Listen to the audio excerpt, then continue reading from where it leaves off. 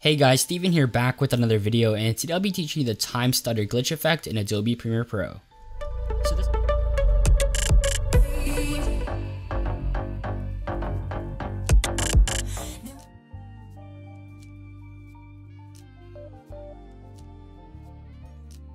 So this effect is actually fairly simple. It kind of has the same characteristics as a flicker effect or, you know, strobe light effect. And I'd recommend using this effect only in fast-paced videos with fast-paced music. Like I said, it's very similar to the flicker effect. You wouldn't use a flicker effect in like a country song, you know, music video. You would use it in a rap or hip hop music video where the environment is a lot faster, fast-paced, where the shutter speed's higher. And you also want the music to fit as well because if the music is slow and the effect is very fast, then it doesn't look really good. So I got my music from Epidemic Music. Uh, Uh, it's in the description. This is not sponsored. I actually use their music for basically all my uh, client work. And so I found a nice, you know, remix and you can hear the hi-hats and they occur very quickly. So I thought it would fit with the effect.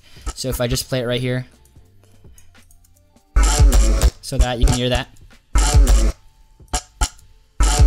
So where you hear the clicking sounds, you can um, add the effect. So it starts right here. I'm gonna press M so I know, or you can just right click and press add marker. And then when it ends, it ends somewhere around here, so press M again.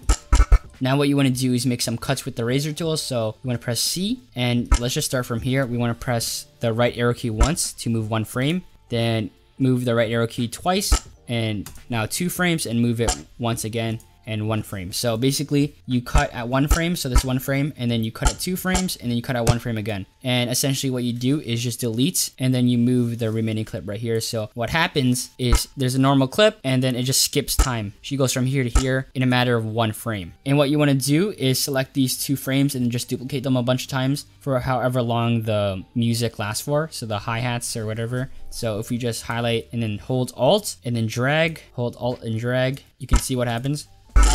So actually ends here. It didn't end right here. That would be too short anyways. Uh, but it ends around here. Um, so now we can just duplicate until this point. So duplicate again, hold Alt and drag. And right here, as you can see, there's not enough for two. So we're just gonna duplicate this one because it repeats in a pattern, obviously. So if we press play here,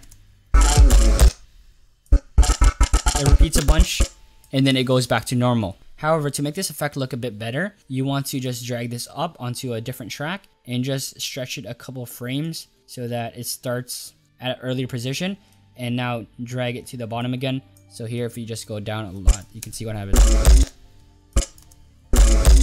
So what this part does is basically transition from the effect into the clip again. And yeah, I hope you guys enjoyed this video. Hopefully helped you out. My name is Steven and I'll see you in the next one.